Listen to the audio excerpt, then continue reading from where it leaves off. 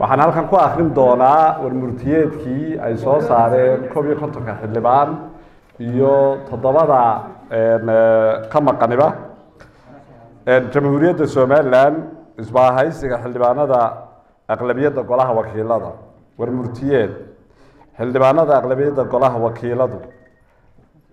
Markay qiimeeyeen guud ahaan xaaladaha dalka ee dhaqaale amni bulsho iyo siyaasadeedba markay arkeen weerarka qaawan ee ka soo yeedhaya soomaaliya. Taasi oo ay ku faragelinayaan jiritaanka qarannimada somalilan. Kadib markii ay yeesheen shirar ay kaga arrinsanayeen xaaladaha dalka kuwa geeska iyo dunidaba.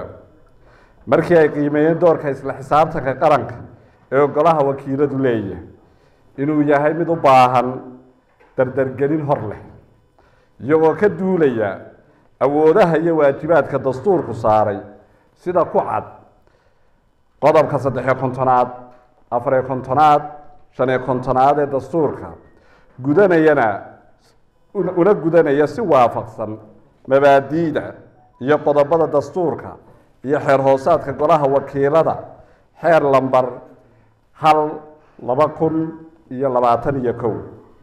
Waxay halkan ku aasaaseen isbaahaysiga xildhibaanada aqlabiyadda golaha wakiilada. Ujeedooyinka loo aasaasay isbaahaysiga magaciisu kor ku xusan yahay waa in ay xildhibaanadani waa qodobka koobaade in ay xildhibaanadani u midoobaan waajib gudashadooda dastuuriga ah si loo gaadho himilooyinka qarankan ee kala ah aqoonsi horumar iyo nabad.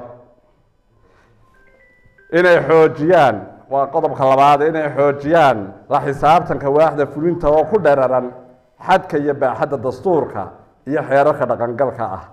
Iyagoo si gaar ah xoogga u saaraya dhinacyada arrimaha nabadgelyada iyo difaaca doorashooyinka heshiisyada iyo isafgaradada caalamiga ah iyo maamulka maaliyadda iyo ilaalinta hantida qaranka.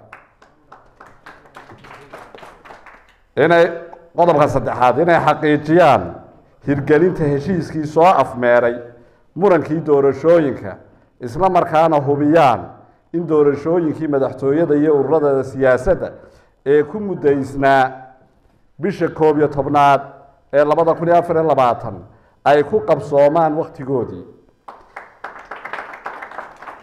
qodobka afraad inay arrinta gobolka sool lagu soo dabaalo wadahadal nabad iyo hanaan siyaasiya. Ugu dambeyn dalka jamhuuriyadda somalilan waxa uu leeyahy hay'ado dastuuriya oo ku yimid doorasho shacab.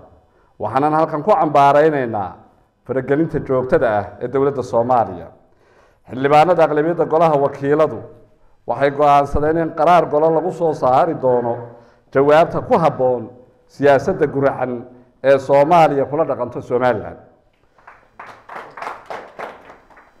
qodobka saddexaad waxay ka sugayaan madaxweynaha jamhuuriyadda somalilan in si waafaqsan qodobka saddexiyo kontonaad faqraddiisa saddexaad ee dastuurka uu golaha wakiilada degdeg u soo gaadhsiiyo heshiisyada iyo isafgaradada uu saxeexay ee aan weli golahu ansixin gaar ahaan isafgaradkii etoobiya ee dhowaan dhacay.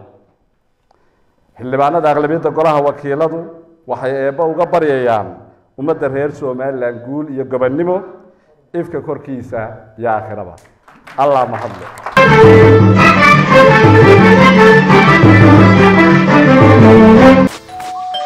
maasha allah soo dhowaada. La jaanqaad shirkadda telesom.